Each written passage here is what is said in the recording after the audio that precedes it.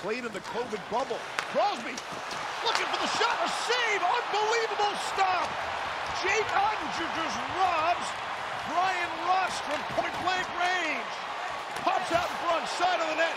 Oettinger has no idea where it is, and there's an injured Dallas Star on the ice, and it's Colin Miller. Two great scoring chances by the Penguins, and we'll check on Miller.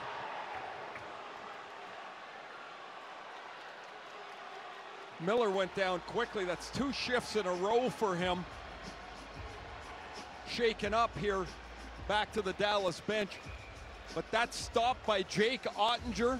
An amazing save on Bryan Rust off the Crosby feed to keep this game tied at one.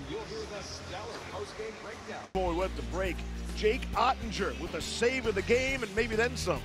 Yeah, an unbelievable reaction stop here.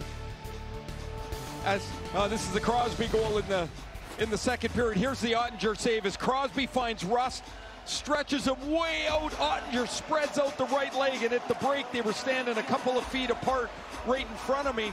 As you see Colin Miller take this puck from Crosby, it hits him in the back of the head. He's okay. A tough couple of shifts, but they were standing a couple of feet beside each other, and Oettinger said, I just got lucky.